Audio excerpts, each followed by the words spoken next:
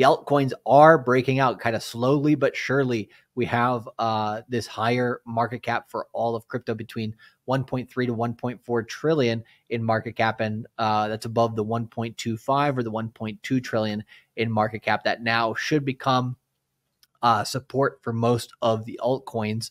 Uh, and again, no sell signal here. So this means, in my opinion, that total crypto market cap will come towards 1.6 trillion in total crypto market cap sooner rather than later. So a pullback here into the middle of the month would be kind of like a godsend to a lot of people who don't want to FOMO into the market, who want a nice pullback. Um, but let's see what we get here. Um, uh, S. Zuniga in the chat says November 13th is my birthday. Well, uh, happy birthday's coming around soon. And that would be a nice birthday present getting a dip on Bitcoin, Ethereum, and maybe a few altcoins uh, if you're so lucky. But that's what we got going on here with the, mm, I guess the the top of the market. So